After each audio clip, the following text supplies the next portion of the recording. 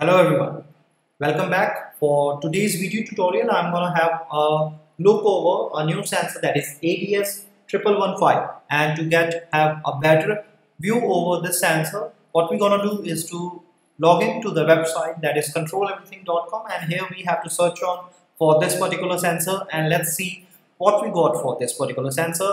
And we got it's a 16-bit 4-channel precision analog to digital converter. And you can see these are some more features which you can add for this particular sensor. Now you can also add to cart. You can purchase this sensor from this website from here.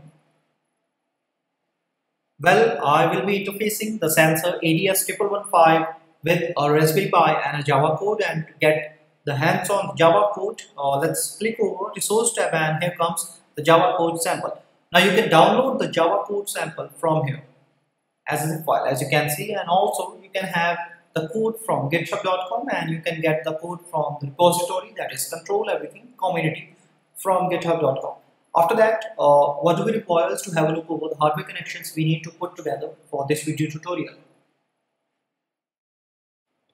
Well in the hardware setup uh, for the connections what do we require is this uh, Raspberry Pi which you are able to see on my screen. And these are the GPIO pins of the Raspberry Pi. Next, we require an I2C shield which you can see and it's available on the website controleverything.com.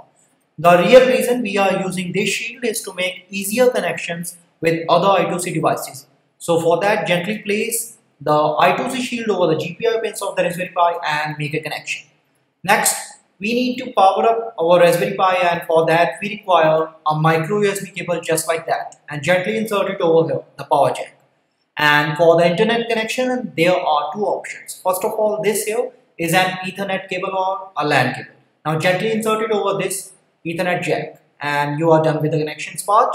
Now for the other internet connection, we can also have a adapter, a wireless nano USB adapter, just like that. And you can have on the USB port. Now what do we require is our sensor that is ADS 1115 and this here is a connecting cable. Now make the connection among the sensor and the cable and make sure that the brown wire of the cable should be connected to the ground terminal of the sensor and same rule has to be applied to the I2C shield. So we are done with all the connections we need. Now what do we require is to have a look over the code and let's interface. For the interfacing part, uh, first of all we have to log into github.com and after that we have to search on for the repository that is control everything community. And then here comes uh, the searching for the sensor that is ADS 1115 and here we are with the Java code. But let's have a look over the instructions first. As you can see we have to download and install pi4j library on the Raspberry Pi and the steps are on this link. That is pi4j.com let's open it up and see what we got here. And here are some of the relevant uh, instructions are here commands are here to install this. So please do it carefully. And after that uh, download it and pull the code on the pi raspberry pi. And after that we have to compile the java code. And this is the command to compile it. And this is to run that code. Please note it down carefully. Now get back to the java code. As you can see it's a .java extension file. Then we have the code in front of you. And we have in the code, first of all, imported some of the libraries which you are able to see. And we have created a class named ADS1115. Then we have to check for the device and it is bus.getDevice which will, which will check the address of the sensor that is 0x48.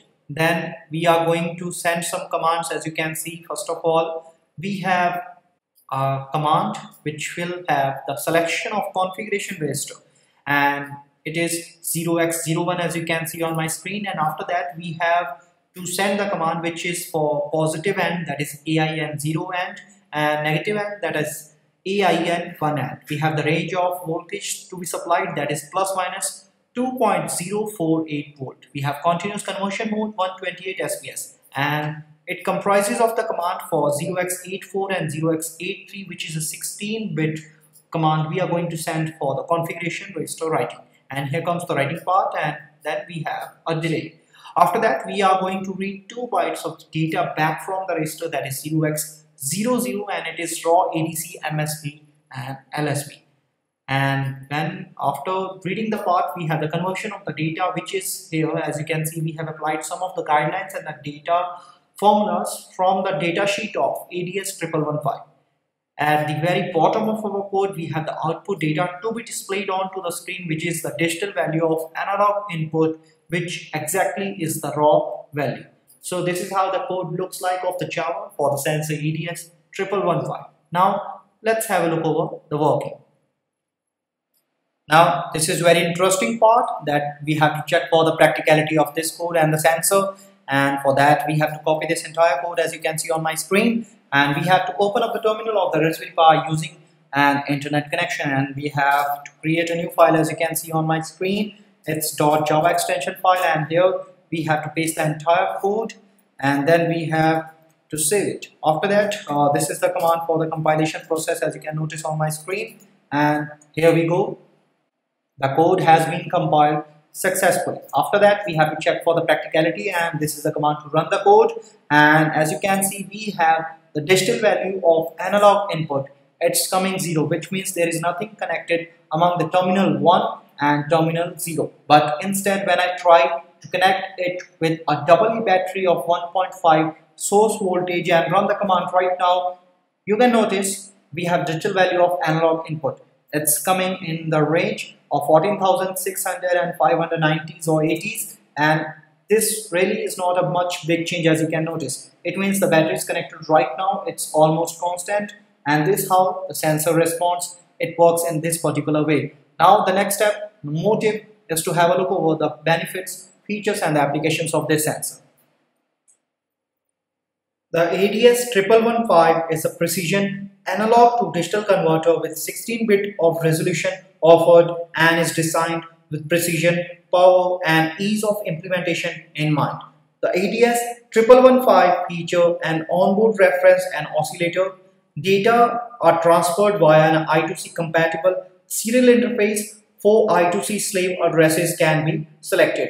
Due to these prominent features, it is uh, useful in a lot of applications like portable instrumentation, consumer goods, battery monitoring, factory automation and process controls and a lot more.